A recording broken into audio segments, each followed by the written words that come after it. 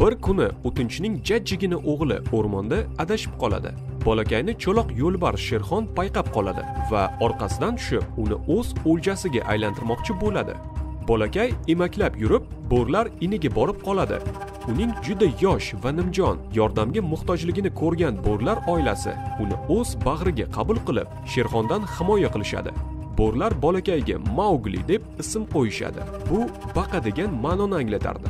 Sherxon o'z o'ljasi mauglini talab qilib to'da kengashiga keladi. Lekin o'zining ham bolalari bo'lgan ona bo'ri mauglidan voz kechmadi va uni himoya qildi. Ayyor qora pantera bagira va donishmand keksa ayiq balu bo'rlarning yonini oldi. Bolalarga changalzor qonunlarni o'rgatuvchi balu va bagira maugliga bo'rlar orasida yashashiga ruxsat berilishi kerak deb hisobladilar. Shunday qilib qurbaqa maugli bo'rlar to'dasini teng huquqli a'zosiga aylandi. Yillar o'tgach bolakay kuchli baquvvat va chaqqon yigitga aylandi. Uning uchun changalzor ham boshpana ham ochiq bir kitobga aylandi.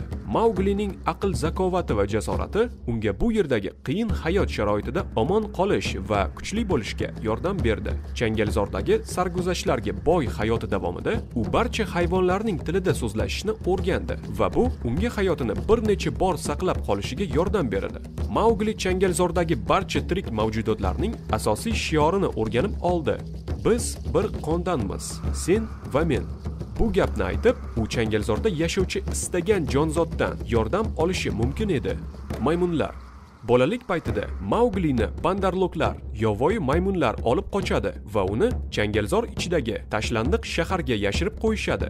Qancha urinmasin bagira ham balu ham bolani qaytarib ololmaydilar. Ular yordam so'rab maymunlarni dahshatli qo'rquvga soladigan ulkan bo'g'ma ilon kaga murojaat qiladilar. Biroq kani ko'ndirish oson ish emasdi. Avvaliga bo'g'ma ilon ularga yordam berishni istamadi. Ammo ayyor va dono bagira ilonning maymunlarga nisbatan g'azabini qo'zg'atishga muvaffaq bo'ldi va uni shu holatda kimsasiz shaharga yetaklab boradi. Ka bandarloklarni jazoladi va mauglini qutqardi. Shu voqeadan so'ng ka va maugli chin do'stlarga aylandilar.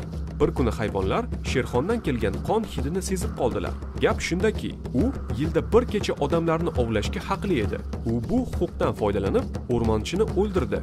Dono fil xati yo'lbarsga changalzorni tark etishni buyurdi va barcha ichadigan daryo suvlarini qurbonning qoni bilan bulg'amasligini talab qildi. Shafqatsiz anka.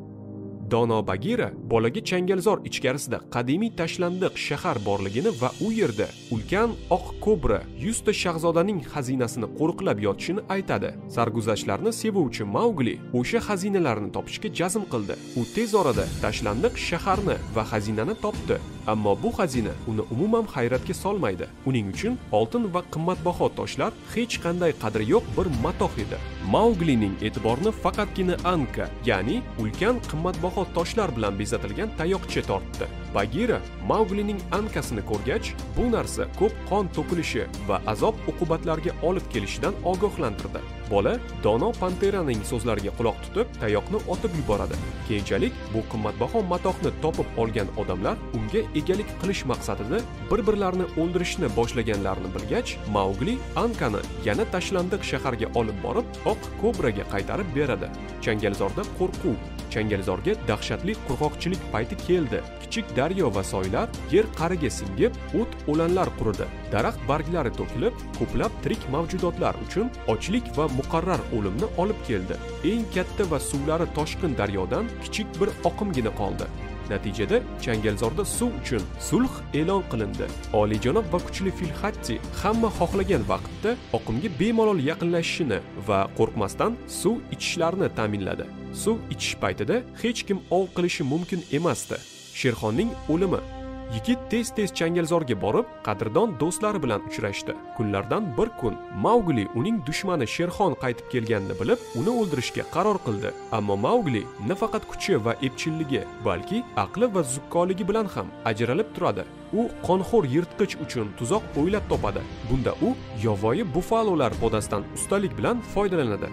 Mana endi maugli o'z dushmanining terisini shilib olib qishloqqa olib borishi va insonlar jamiyatiga kira olishi mumkin edi. Axir bahaybat yo'lbars butun mahalliy aholini dahshatga solar ularning osuda hayotlariga xavf tug'dirar edi. Ammo qishloqdagi odamlar mauglini dahshatli afsunga turli hayvonlarga aylanishga qodir deb hisoblab uni haydab yuborishadi. O'rmonga qaytgach hayvonlar dunyosidagi do'stlari bilan changalzor qonunlari va urf odatlariga ko'ra yashashga qaror qildi. Maugli hayvonlar bilan qolish yoki odamlarga qo'shilishni tanlay olmay uzoq vaqt azob chekdi. Oxir oqibat u odamlar jamiyatini tanlaydi chunki uning dono ustozlari bagira va balu barcha tirik mavjudotlar o'zi kabilar bilan yashashlari kerak deya ta'kidlashardi.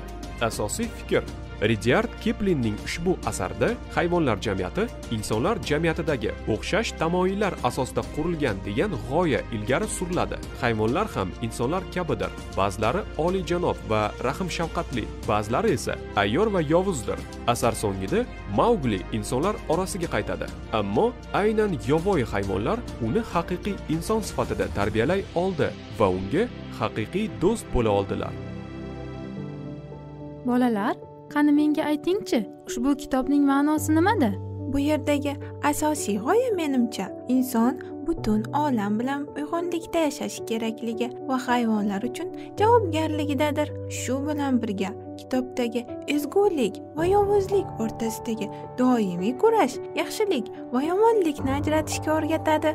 Kitobdagi yana bir g'oya bu onaning o'rnidir. Bolaning ota onasi yo'lbarsdan qochishayotgan paytda uni tashlab ketishadi.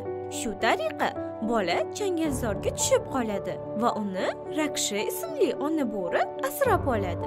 Shunda biz haqiqiy ona mehrini ko'ramiz. Kitobda insonning asosiy burchlaridan biri tabiatni sevish va uni asrab avaylash aks etgan. Shu bilan birga asar malika aytganidek yaxshilik va yomonlikni ajratishga o'rgatadi. Menimcha esa hayvonlarning ahillikda yashashlarining asosiy tamoyili o'zaro hurmat ekanligi ko'rsatilgan. Shu bilan birga muallifning boshqa asarlari singari bu kitobi ham yaxshilik va yomonlikni ajratishga o'rgatadi. Darhaqiqat kiplinning mashhur ijod mahsullaridan biri bo'lmish agar nomli she'rida ham quyidagi misralar bor. Agar sen boshingni baland tutolsang o'zgalar tanaga ko'mishganda ham haqligingga doim o'zing ishonsang do'stu yoronlaring shubha qilsa ham rohatga yetmoqchun faqat sabr qil yolg'on so'zlamaga aldashganda ham. Nafratda yonsangda zahring sochmagir kamolot yo'lida faqat kamtar bo'l.